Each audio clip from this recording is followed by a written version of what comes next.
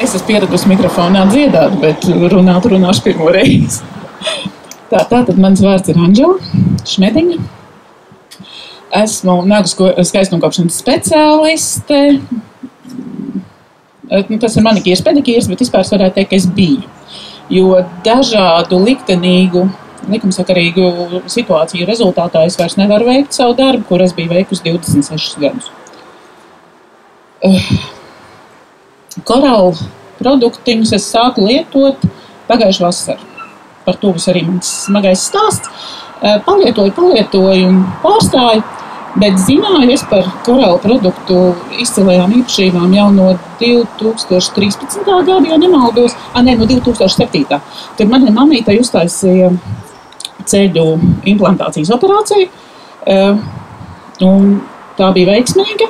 Kaut ārste teica, ka uh, implants viņai nejauks un uh, pie viņas uh, veselības buķetes tur nav vērts viņai taisīt. Uh, mans stāsts sākās pagājušā gada augustā, kad es pēc ļoti smaga kritiena un ļoti, ļoti liela zēja kāja bija iekaisusi. Uh, bet tā kā man jau reiz bija bijusi roze, bet otrajā kājā es sapratu, ka tā ir roze un devos pie dziednieka. Ziednieks Protams, man nenoticēja, jo tā roze izskatījās pēc vēniekais. Atkal jau kā otro reizi manā dzīvē ar labākāju bija bijis tas pats. Uh, dziednieks kaut ko darīja, darīja, darīja, jo rozi jau ir jānes pie dziednieka. Mm, rezultāts nulle. Uh, pagājušā gada 20. augustā, kā tagad atceros to datumu, jo pie prezentācijas bija pielikusi, uh, mani radinieki mani pierunāja aiziet pie ķirurga. Aizgāju pie ķirurga, kurš apliecināja, ka tā ir roze. Ķirurgs bija nu, tāds, kuram es uzticos jau ne pirmo gadu. Uh, viņš nu, teica, ja jau tāds dziednieks nav līdzējis, nu, tad sākam ķeramies pie, pie tā, ko medicīna šajā jomā dara. Eh, vēl es piebildīšu, ka eh, zāles es nevaru lietot ķīmiskās. Man ar eh, aptiekas medikamentiem ir ļoti interesants attiecības. Jo no detalēks, ko parasti izraksta mm, pie vēja iekaisumiem, es vienkārši izslēdzos. Pat pie tik minimālām devām kā viena tabletīte, kuru nav jēga lietot. Un tā man vēl ir vesela virkne ar zālēm, tur varētu vēl ilgi stāstīt, bet stāsts ir par to rozi. Un ārsts man nosmērēja kāju ar zaļonku, abēra ar streptocīnu. Uh, tas sāpes, kad es tā padomāju, tās bija neaprakstāmas, sāpēja nenormāli.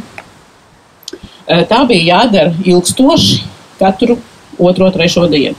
Tajā brīdī par māksliniekiem pārtapa visi mani ģimenes locekļi, jo viņi man smērēja ar to ziļonku, abēra streptocīdu, jo es jau visur saņēmu klāt. Uh, Tas bija tāds riņķis, kur man mēnesis to padarīja. Tad es sapratu, ka jāmeklē cits dziednieks. Nokļuvu pie cita dziednieka. Viņi, paldies Dievam, man apturēja šo rozes durstīšanas procesu. Bet vispārējais jau palika. Palika sarkanums, palika iekaisums, palika nenormālas sāpes. Vismaz nedūri. Bet, uh, Ārsts tika noplātīja rokas, tā kā zāles es nevaru lietot. Un e, teica man tagad, nu, vienkārši lai dzīst. Un tad, kad e, tā kājiņa būs sadzījusi, tad liksimies uz galda, operēsim. Jo viņa jau sen bija vispār jāoperē kāds gadus četrus atpakaļ. E, nu, tā, manā gadījumā, kamēr es gāju uz darbu, viss vēl bija labi. Saņēmus, gāju, bija neciešams sāpes, bet viss ok. Bet tad sākās mājasēde. Un tas bija pats traģiskākais. Jo manā gadījumā tā bija mājgula. Jo, ja man bija jāiet uz darbu, es saņēmos, bet mājās es vairs nevarēju saņemties. Un tā es nokļuvu uz gultas.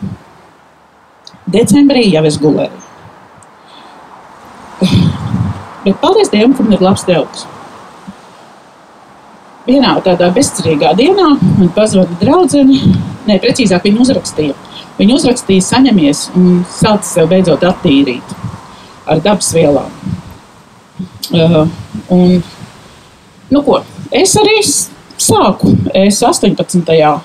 janvārī gan šī gada uztaisīju pirmo pasūtījumu. Bet, kā lai es saku, ar mani jau viss ir ļoti interesanti. Es biju izlēmusi, jo es decem, decembrī es jau biju izlēmusi, ka es tomēr atceros, kā mamītei tur viss palīdzēja. Uh, man no pagājušās vasaras vēl bija ūdentiņi. Maisiņu es domāju, es pamēģināšu. Jādzer ir pusotras litras dienā, tūlīt būs. Sāku dzert to pusotru litru dienā ūdeni. Nu, mīļie, tas bija labi. Es nokļuvu atpakaļ gultā, jo man vajadzēja pusotru litru dienā. Tādu toksikozi es atceros tikai grūtniecībā. Man bija tik slikti. Es vienkārši tāpatās man arī sāka nenormāli sāpēt zārnas. Un, un, un, nu, es vispār domāju, ka galiņš ir klāts. Nobijos es arī tāpēc, ka man ir četras reizes griezts vēders, un, bet tas jau ir cits stāsts. Un tad es metu atkal visam uh, roku un nedzeršu vairāk, neko man nevajag. Un kā es domāju, un tādā brīdī atkal jau tas īstais draugs jūt, ka draugam ir ziepes.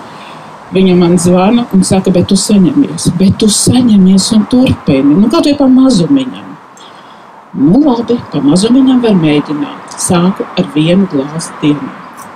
Lēnām, prātīgi. Uh, pēc tam uh, jau divas dzīve esmu, vai nu to es nevajag, tā tad ņemsim divas. Rezultātā jau sapratu, ka jānoliek pudelīte pie gultas, jo tomēr vairāk jau var iedzert nekā divas. Bet uh, labākais, ko es darīju tajā laikā, kad es gulēju, es uh, klausījos mūsu nutricionālā, arī Vinetas dažādus ierakstus. Un, uh, kaut kādā brīdī es sadzirdēju vārdu silts ūdens. Un tad bija pats labākais. Jo tas siltais ūdens, viena krūzīte, silta ūdens, tā bija tāda bumba manā organismā. Viņš aizgāja visu, man bija tāds sajūta, ka viņš aizgāja pilnīgi visur, tas ūdentiņš, kur man vajadzēja, vai kur viņu precīzāk gaidīja. Eh, tas man bija tāds, tāds sākums vispār, nu, vispār ceļam ar, ar, eh, ar ūdeni. Jo es pirms tam dzēru, bet nu, tā to nevarētu teikt, ka es apzināti dzēru ūdeni. Nu, jādzer ūdens dzersim. Bet tad es sāku apzināti dzert. Un tam klāt vēl ar Andas ieteikumu un arī Jūra mēs pievienojām uh, skudru koku, uh, gan ļoti mazās devās. Tikai četras kapsuliņas dienā, jo mans organisms ir kā, nu, man iekšā ir viss kā mazam bērnam. Es varu tikai maza bērna devas. Jā, ļoti ekonomiski, jā, bet līdz ar to ļoti ilgi. Jā. Protams, arī tam visam klāt vēl paņēmām papājas tabletītes, ko pārsvarā ievēd man bērni mājās, bet nu, es arī. Un pats lielākais mans glābējs ir silvermaks, jo silvermaks es pūtu uz savas kājas ne, nu, neskaitāms reizes dienā. Kāja no sarkanas novārītas, nu, tā kā vēzītis, man ir foto no, 15, no 14. decembra, un pēc tam jau ir, eh, ja nemaldos, 17. janvāris, kur ir, nu, kādas trīs vai četras dienas puses silvermaks, un tā ir fantastiska. Fantastiska reakcija. Eh, jau 25. janvārī man, eh, man jau ir sadzījusi normāla kāja, kur jau praktiski nāk no nekrotiskā āda, kad var, eh, var redzēt, ka viņas aplaisās tā kā tūkstošas smiltis. Un tad es pirmo reizi pēc pusgada varēju pieskarties savai kājai.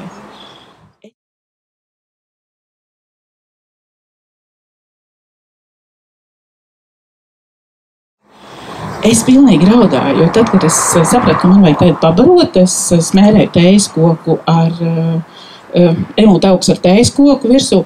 Un es pirmo reizi pēc pusgada varēju pieskarties savai kājai. Tā bija tāda laime. Es reāli apraudājos. Eh, pat tagad nav viegli to visu stāstīt un atcerēties, bet eh, vēl vakar, kad es mājās pārrakstīju runu, kas man tur uz somiņā kaut kur stāv, tad mans bērns teica, viņš teica, māma, tas taču bija gadu atpakaļ, ārprāts, kā mēs to izturējām. Jā, mēs to izturējām. Paldies Dievam. Nu, ja es varu stāvēt, jo uh, es arī visu vasaru esmu nostāvējis uh, stundām ilgi strādājot. Un uh, es varu paiet, es šodien pirmo reizi dejoju. Es nebiju dejojis kopš pagājušās vasaras. Man visu laiku bija bailes to darīt. Un, ziniet, es esmu tik laimīga, ka es esmu noticējusi, ka es esmu to izdarījusi un ka es tagad bez, bez nekādām bailēm varu stāstīt par to arī citiem cilvēkiem. Un tādu pārliecību, kādu es esmu guvusi, kad dabas vielas mums var palīdzēt, un ka mēs varam piecelties pat no pilnīgi nereālām situācijām, kad ārsts saka, ka tev ar to būs jāsadzīvo. Un, diemžēl roze ir neizārstējama slimība. Es varu pateikt, ka viņa ir izārstējama. Jo mans vīrs tajā laikā, kad es gulēju, viņš teica, sieviete, ko mēs darīsim tad, kad tev noņems kāju. Un godīgi es par to ļoti daudzas reizes biju padomājusi, kad man būs jāiemācās dzīvot radikāli. Bet šodien es stāvu. Paldies manai fantastiskai draudzenei, kur vienmēr zina, kurā brīdī man ir jāpazvana. Tā ir Andiņa. Eh, un eh, paldies dabas vielām, paldies jums visiem, kurus es esmu ikdienā klausījusies. Un, eh, paldies, ka jūs mūs atbalstat. Paldies!